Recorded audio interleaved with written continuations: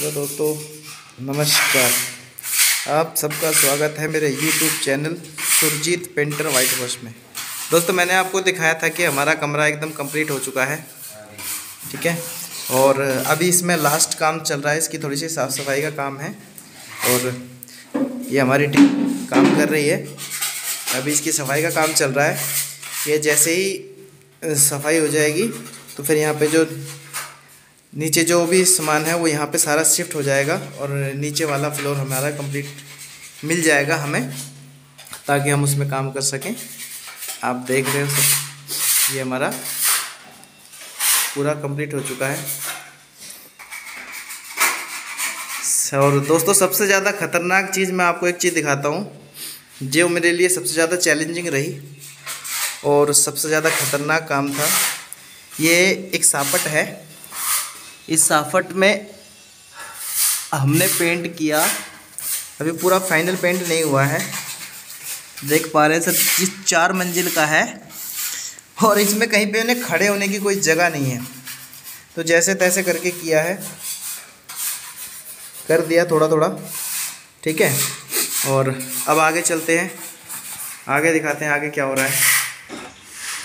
ये हमारी बालकनी है, मैंने आपको दिखाया था कि अभी जब पिछली वीडियो में मैंने आपको दिखाया था कि इसमें कुछ काम नहीं हुआ था और आज इसमें पट्टी खींच चुकी है पूरे में पट्टी खींच चुकी है और प्राइमर का भी काम हो चुका है।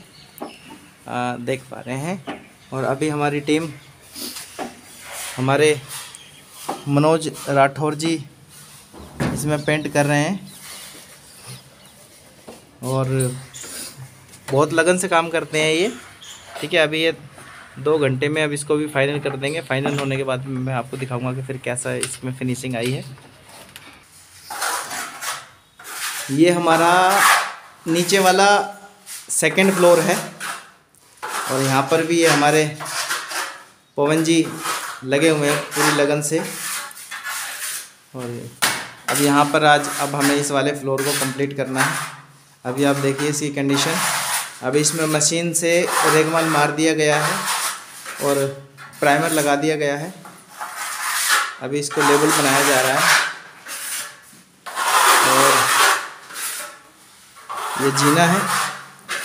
जीने में भी रेगमाल मशीन से लगाकर इसके अंदर भी प्राइमर लगा दिया गया है।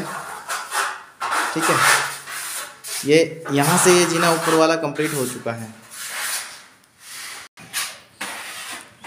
अब मैं आपको बालकनी दिखा देता हूँ कि यहाँ की बालकनी कैसी है। अभी देखिए इसकी हालत देखिए। ये फ्लैट काफ़ी दिनों से बंद था। इसीलिए इसकी हालत ऐसी कंडीशन ख़राब हुई पड़ी है।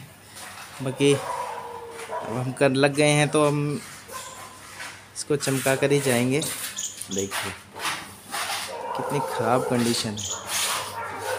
ये यहाँ का इनका टॉयलेट है। टॉयलेट तो फिर भी ठीक है। ये ग्रिल है। ये सामने का देखिए, थोड़ा सा यहाँ पे पार्क है।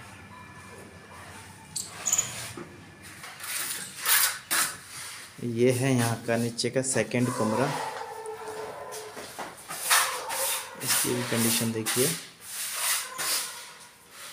अभी यहाँ से पूरा खाली हो जाएगा, यहाँ से सारा सामान हट जाएगा। उसके बाद में फिर इसके अंदर करेंगे। ये है बाथरूम। ये देखिए बाथरूम कोई भी।